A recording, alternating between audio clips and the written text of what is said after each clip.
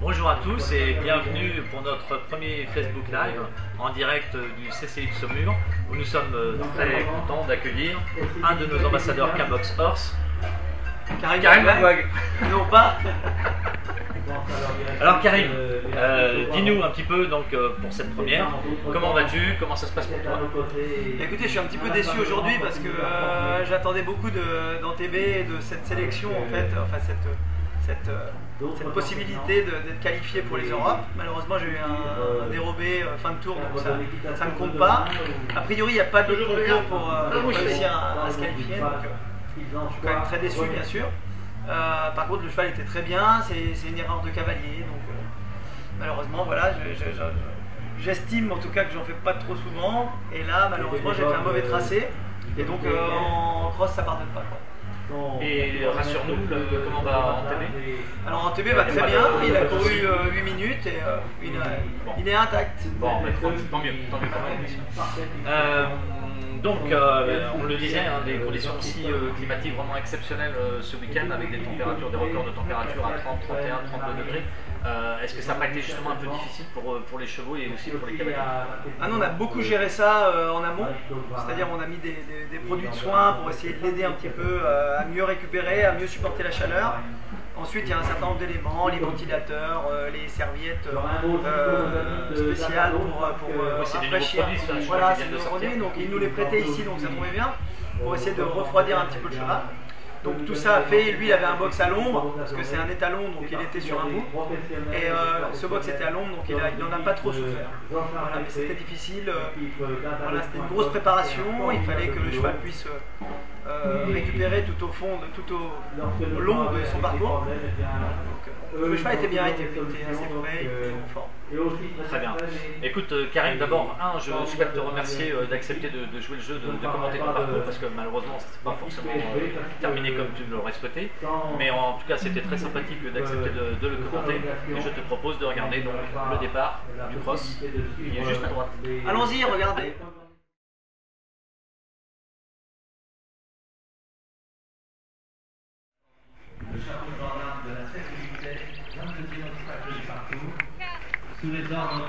Alors, hop, on est parti hein, dans la boîte. de Désolé, départ. désolé pour cette coupure, on a une, une mauvaise connexion ici. Donc l'obstacle numéro 1, voilà, qui était assez gros et très proche de la boîte de départ. Alors là, au niveau du rythme, tu peux peut-être euh, dire au niveau du rythme, au niveau de la vitesse. hein. Ah, disons que euh, le, principal c'est que euh, qui veut aller loin ménage sa monture, bien sûr. Donc le fait est qu'il faut mettre les chevaux un peu en avant, mais pour un cheval d'expérience comme ça, il faut gérer en fait le rythme au fur et à mesure. Donc on peut se permettre, on peut se permettre au fur et à mesure d'être un peu plus exigeant quand il y a des moments de descente, quand il y a des moments de plat où on peut solliciter un petit peu plus. Puis dès que ça remonte un petit peu, essayer de, de calmer un peu le jeu. On a l'obstacle numéro 3 qui est une, euh, une grosse table, enfin une maison, La largeur euh, de, de- de- de la table de la maison 2m60.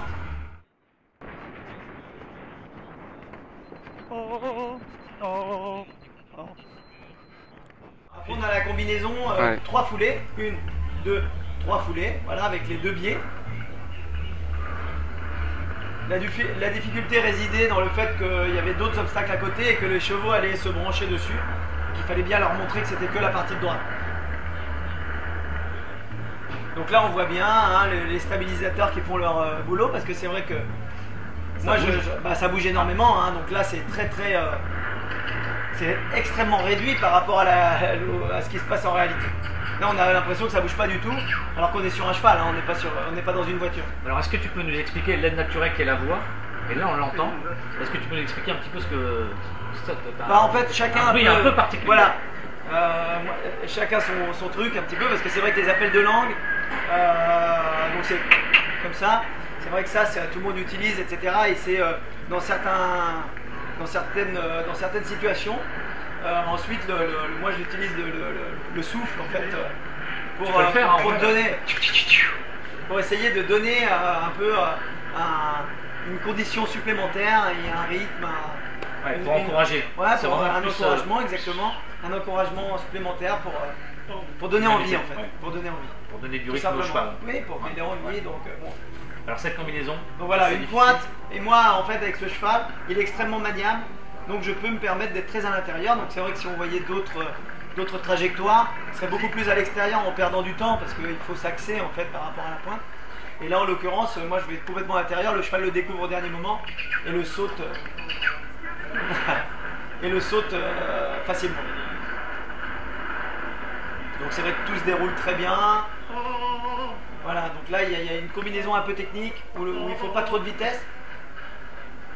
Donc euh, je lui demande de ralentir légèrement. Donc voilà, on voit un gros biais. Hein. Il y a un énorme biais et puis l'autre en biais en face. Deux foulées, une, deux. Donc c'est vrai que ça va très vite. Mais... Ton chronomètre qu'on entend C'est mon chronomètre qu'on entend. On a des points de repère sur le, sur le parcours.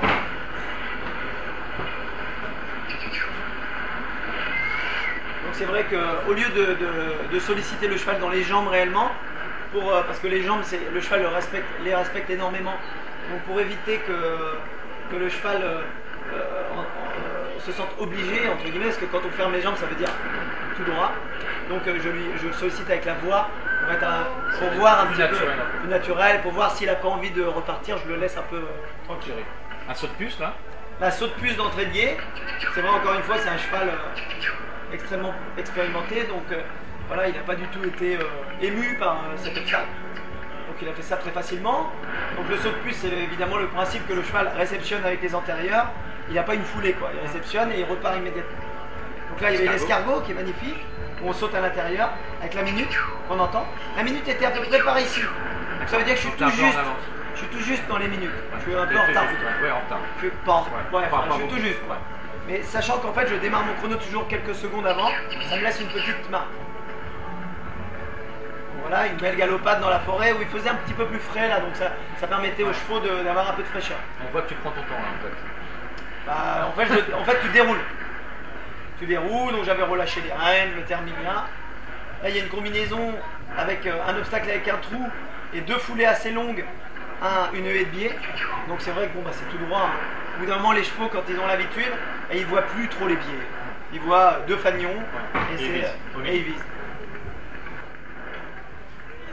Voilà, encore une bonne, une bonne galopade dans la forêt. Donc c'est vrai que là, vous voyez euh, le, le paysage défiler assez rapidement. Donc c'est vrai que le cavalier, lui, a tendance à, penser qu'il va très vite, parce qu'il voit le, tout défiler très vite. Et en réalité, on n'avance pas trop dans le sous-bois, c'est quand on est dans la plaine. Euh, là, il faut se dire, attends, peut-être je vais un petit peu rapidement, parce qu'avec l'environnement, quand on voit défiler les arbres, on se dit je suis à fond, puis en fait on se traîne. Moi je suis habitué, donc voilà, j'essaye d'avoir un rythme régulier. Parce qu'en fait, le secret réside aussi, le secret de la non-fatigue du cheval, réside dans le fait d'être assez linéaire, pas trop ralentir, pas trop accélérer tout le temps, quand on en a des obstacles. Le but, c'est de ralentir un peu progressivement et de relancer progressivement et le moins possible. Et lui, c'est un cheval qui a beaucoup d'équilibre et euh, il se met jamais dans la pointe de vitesse maximale, donc il est habitué à faire un peu quelque chose d'assez régulier.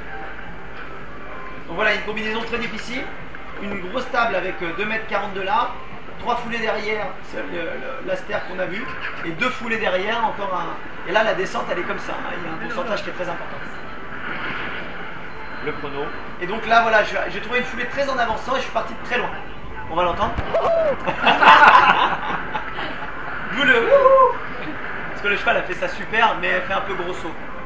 Comme c'était dans la descente, tout ça, c'est pas des gros efforts.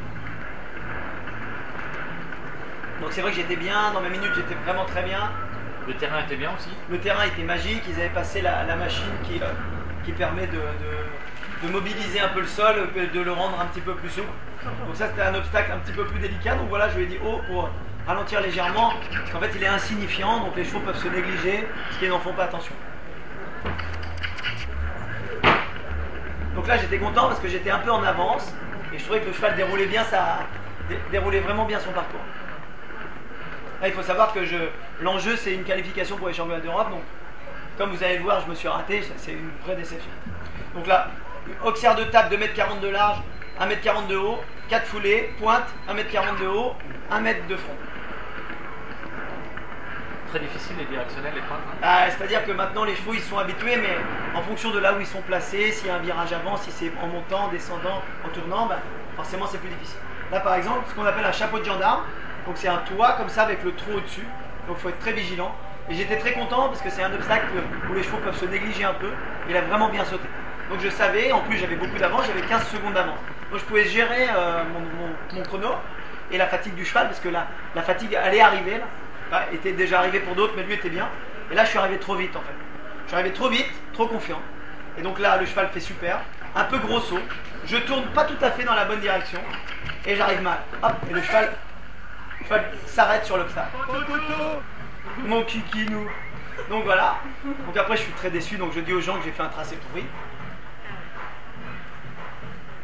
Des personnes que je connais, là en l'occurrence, mal décidé. Évidemment. Donc je suis dégoûté. Donc on entend la minute qui devait sonner par là-bas. Et donc là, je me dis, est-ce que le cheval est encore frais finalement? Parce que quand on coupe comme ça et qu'on repart, ça les, ça les fatigue. Et là, il repart très bien. Là, je voulais sauter cet obstacle. Ouais, je parle tout seul. Et euh, pour dire, je suis entre deux, je suis déçu. quoi.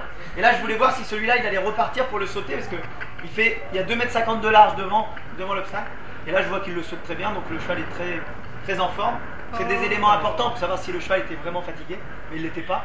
Et donc là, j'abandonne, je m'arrête et euh, je le repasse au pas, je caresse. Et un petit, déjà, je ne savais pas où sortir. Voilà. Parce qu'évidemment, c'est pas prévu pour euh, sortir à cet endroit-là. Donc, je demande à des personnes qui vont m'ouvrir. même pas. Même pas, c'est fermé. Parce que je me suis dit, il y a un passage là-bas, et puis après je me dis, mais non, même pas. Et donc voilà, on entend le cheval souffler, etc. On entend la minute suivante. J'ai mal monté. Ah bah c'est euh, la, la, juge de dressage. J'aurais dû bien dessiner correctement, et je suis resté un peu entre deux. J'aurais dû bien dessiner, je suis resté entre deux et j'ai mal Par où je peux sortir là, tu dis Par où je peux sortir, par contre, c'est Bon, donc un, un, bon débriefing. Euh, un bon débriefing, aussi, bah, voilà, analyse, euh, on, a débriefé, j'ai mal monté. Donc euh, bah, voilà, ça, malheureusement ça arrive. Peut-être un peu trop confiance, certainement. Malgré une, un enjeu important, mais le cheval était magique. Il était très bien. D'habitude, il fait 4 étoiles, il était en 3 étoiles, donc c'est vrai que euh, le, le, parcours était plutôt plus simple que, que d'habitude. Et là, en l'occurrence, bah voilà, fin de tour. Je le savais en plus que c'était difficile, mais il a, je suis arrivé un petit peu rapidement. Du coup, il a plongé à la réception, puis après pour tourner, c'était un peu compliqué en tout cas, euh, Karim, euh, vraiment un grand merci d'avoir accepté, parce que c'est pas forcément des conditions idéales pour euh, commenter un tour avec. non, mais bon, c'est. Imagine ta déception. C'est un bon débriefing. c'est intéressant de, regarder sous un autre angle le parcours. Et puis, à moins d'avoir quelqu'un qui court après nous avec une caméra, mais. là, voilà. C'est pas évident. Tu es devenu caméraman en même temps, mais bon, sans te déconcentrer. Hein, ça n'a rien à voir. La cambox ne t'a pas je gêné. La vois pas, je la vois pas. d'accord. Je ne la vois pas. Il y a quelqu'un qui, voit ce que je fais. Et merci à Cambox Horse pour. Très bien. Bah, écoute, en tout cas, merci, merci Karim. Et puis euh, bah voilà, hein, on remercie euh, tous les internautes qui nous ont suivis. Et euh, bon, malheureusement, voilà, on a eu des, problèmes un peu techniques pour pouvoir diffuser en live.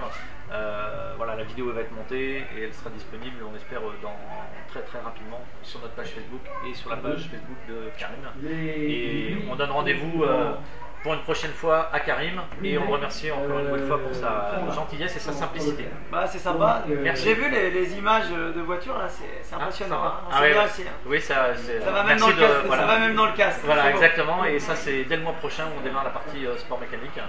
avec des, déjà des ambassadeurs et certains que tu connais. Bravo Cambox. Voilà. Ben, en tout cas, merci. Allez, à très bientôt. Bye.